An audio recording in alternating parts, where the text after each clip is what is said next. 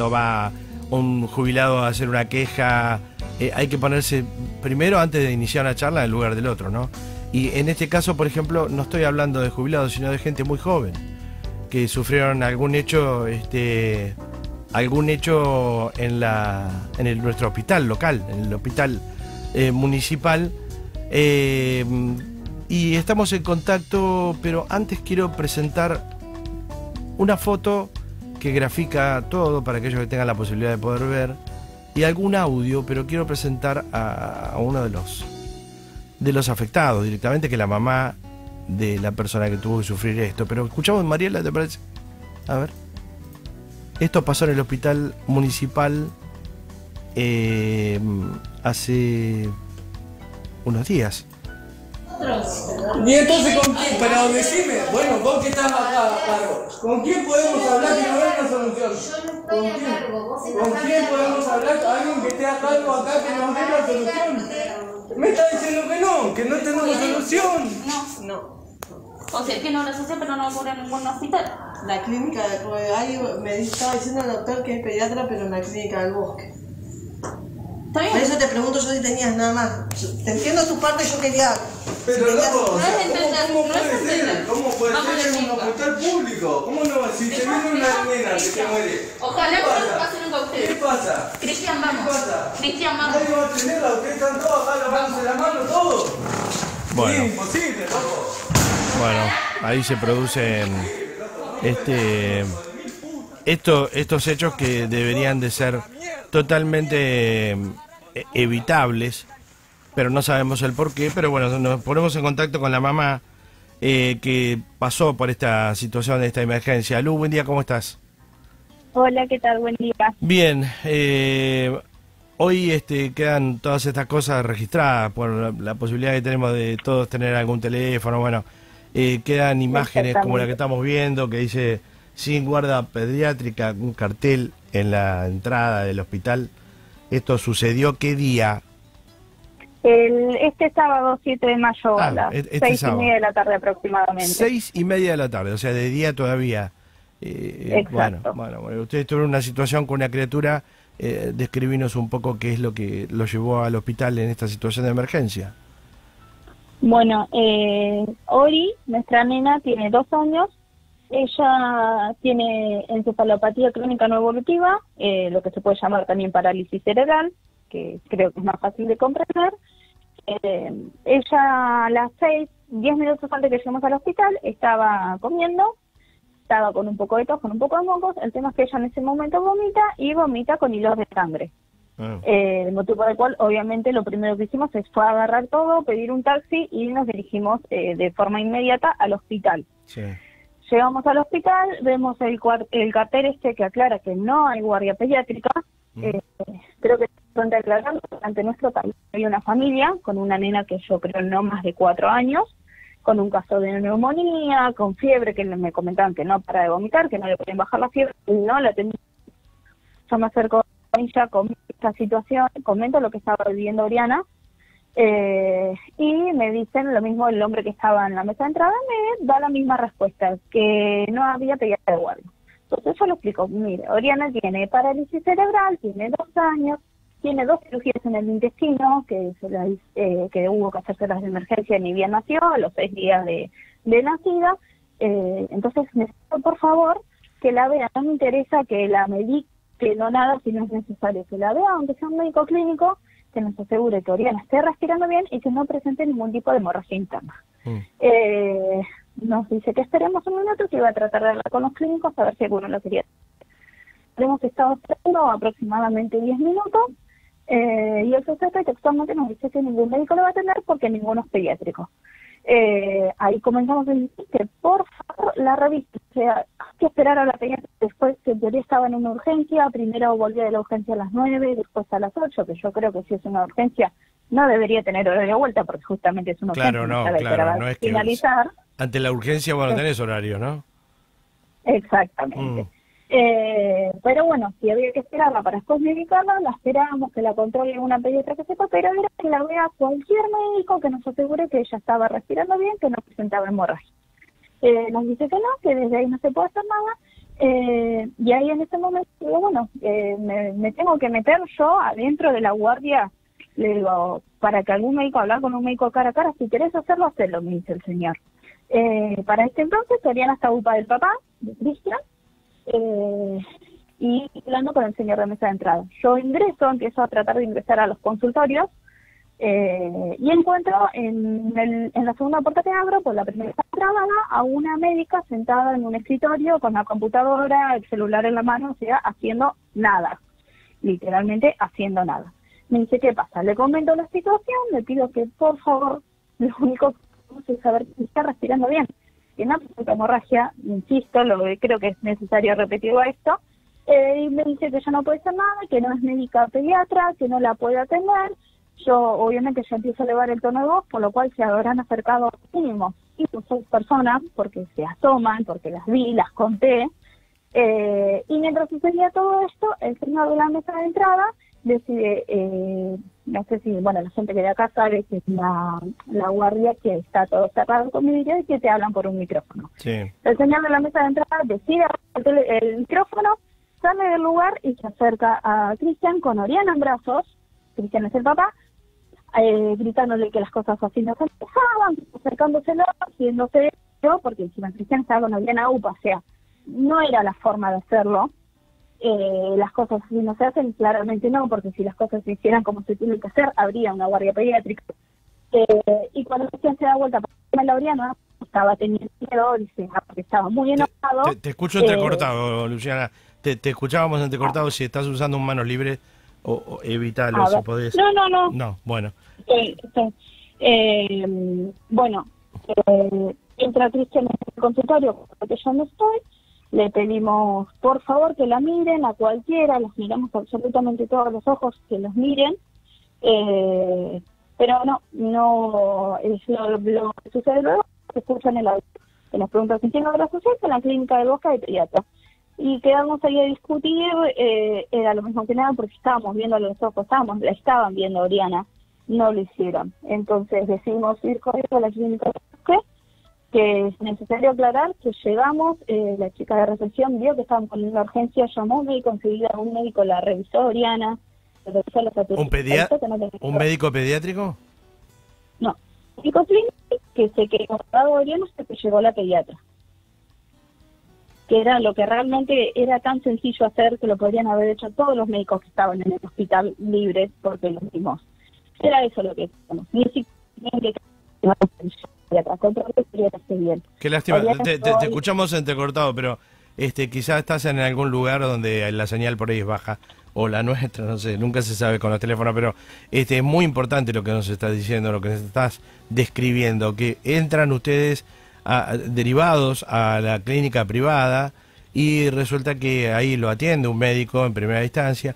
Creo que con esto del, del, triac, creo que se llama, eh, o triage, eh, se determina la prioridad que tiene y eso lo puede hacer ante cualquier situación, eh, cualquier médico que esté de guardia, ¿no?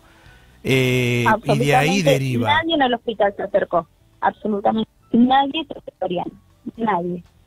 Eh, insisto, en la clínica del bosque, el médico que nos atendió nos revisó, la revisó al 100% y cuando se le hizo la revisión, ¿quién tiene la presión baja?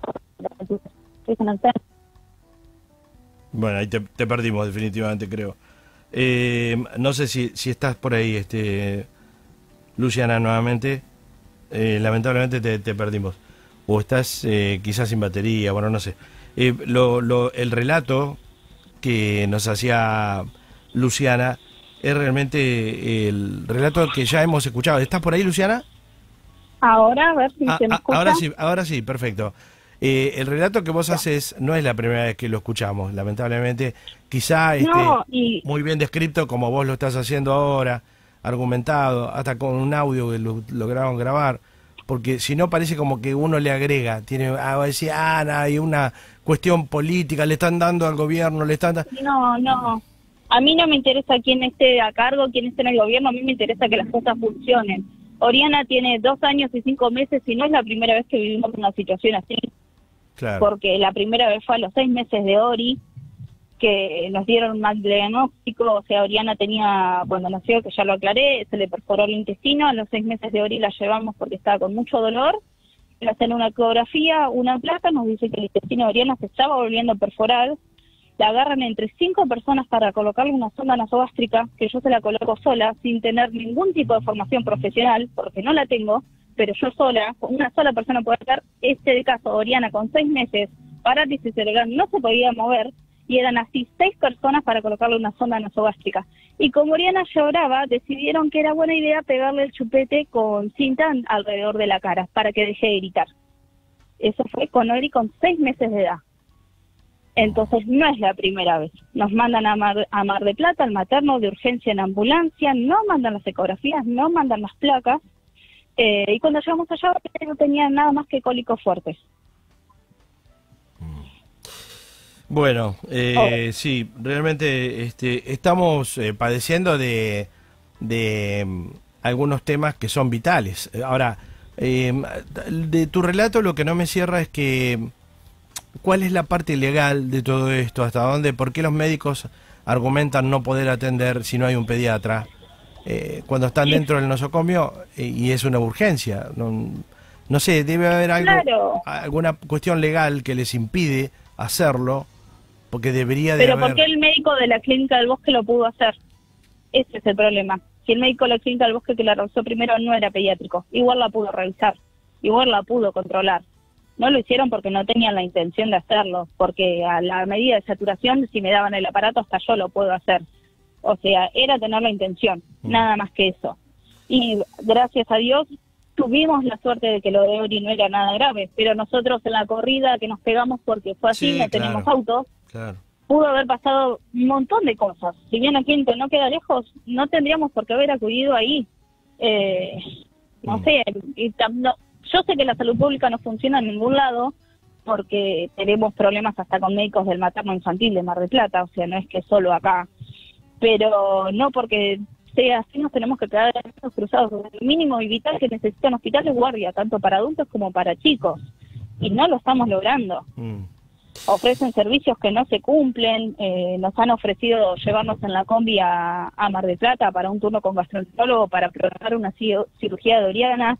El día nos presentamos 15 minutos antes, esto fue el 27 de diciembre, Oriana tenía fiebre, no había guardia pediátrica ese día tampoco a la mañana, la combi llegó dos horas con lo que tenía que hablar, nos avisó que no viaja y fue, no obtuve respuesta y quiero aclarar que Oriana dos días después de eso terminó internada.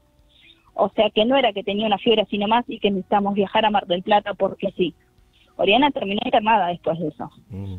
Lamentablemente cuando, cuando el caso es tan este, latente y tenés eh, un enfermo este, tan cercano o una persona que tiene estas afecciones tan cercanas, estos cuadros se producen más seguido que lo que le sucede a otro a veces y por eso uno pierde la conciencia de, del riesgo, ¿no?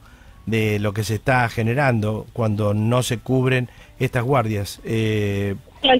Tal, cual, nosotros eh, por eso tomé la decisión también de grabarlo, porque hemos vivido desde el hospital, desde la obra social, millones de maltratos, de faltas. Eh, entonces, eh, como consejo de la abogada de Ori, hoy en día tengo que grabar absolutamente todo. y lamentablemente yo creo que todos deberíamos hacer lo mismo porque no es que me pasó solo a mí, y eso se sabe le pasó a todo el mundo. El tema es que deje de pasar. Claro, claro, claro. Sí, sí, seguramente. Que seguramente. este, que sea, que por lo menos sirva la mala experiencia tuya y le sirva a otros, ¿no? Para estar este, atentos, preparados y en condiciones de exigir lo que nos corresponde, ni más ni menos, ¿no? Exactamente. Mm. Obviamente los responsables eh, brillan por su ausencia porque siempre responden o en las redes no, le comuniqué esto al intendente, como la vez que pasó esta que la combi nos dejó tiradas, que nos eh, que abandonó, que perdimos el turno, que hoy eh, terminó internada.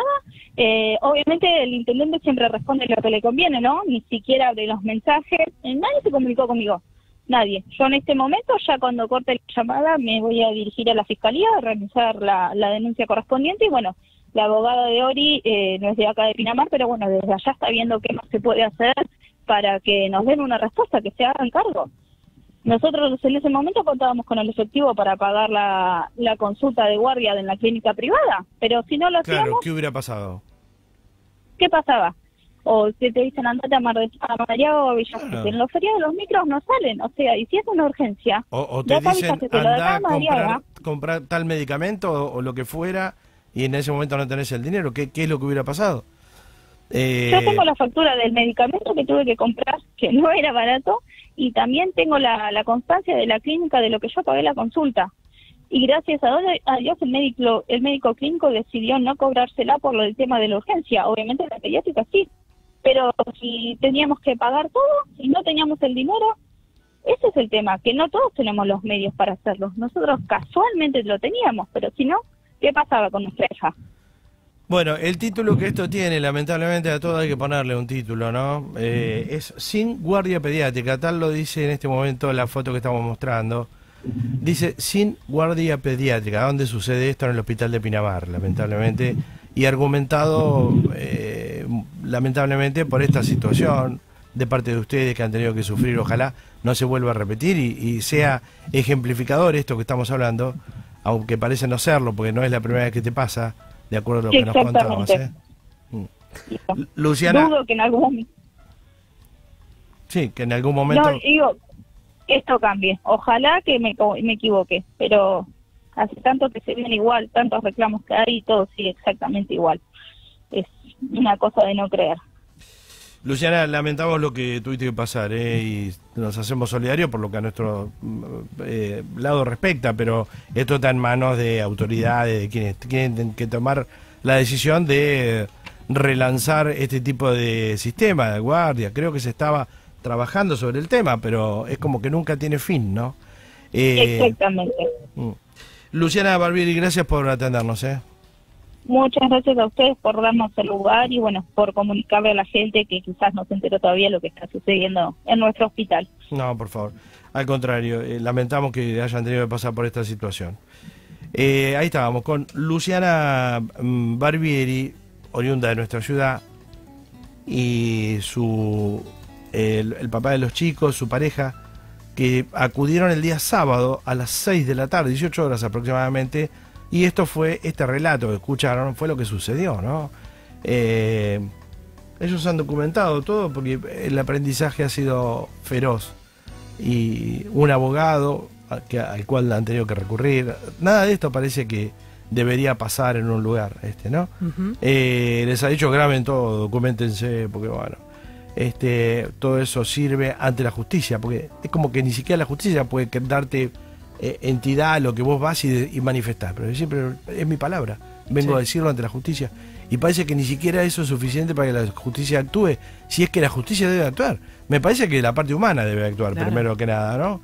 Ah, hay un hospital, más allá de la rentabilidad o no, que dé, da pérdida, da ganancia, no importa eso. Y, y los impuestos que se pagan, que todo el mundo dice, bueno, pero son impuestos, se pagan y son caros, ¿por qué no funciona bien la salud? Bueno, ¿dónde está el meollo de la cuestión, no? De, de que hay profesionales. Yo siempre digo, estos mismos profesionales muchas veces los encontrás en otros hospitales. Porque hay profesionales que, que van Claro. por su especialidad a recorrer la zona. Sí, sí. Hacen Villa Gesell, lo hacen guardias en, en General Madariaga o en Bardiajó. Y la atención nada tiene que ver muchas veces con lo que pasa en Pinamar. ¿Qué, ¿Dónde está el misterio, no? ¿Qué, ¿Qué es lo que hay que resolver? Mira, hay mensajes de la gente que estaba escuchando la nota. Es vergonzoso lo que pasó con esta niña en el hospital, con los impuestos que pagamos. Tendría que ser el hospital Garraham, dice este mensaje. Otro mensaje dice, buenos días Raúl, escuchamos la radio relacionado con el funcionamiento del hospital, por favor, no abandonen la noticia, solo ustedes pueden hacer algo. Otro oyente eh, sugiere a Luciana que haga la denuncia a la fiscalía por abandono de persona. Mm. Bueno, de- todo lo que viene después no, no sirve, porque que le reembolsen el dinero a la mamá de lo que gastó tampoco sirve. O sea, ni siquiera es un paliativo a la situación. Porque ¿quién te saca el momento que vivieron? Nadie. Ahora, desde lo legal, digo, ¿no?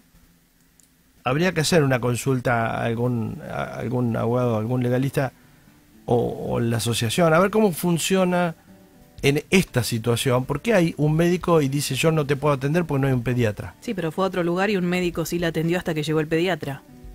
y era una emergencia. La ¿El misma sistema este de triage que, que hay impuesto en el hospital no funciona más?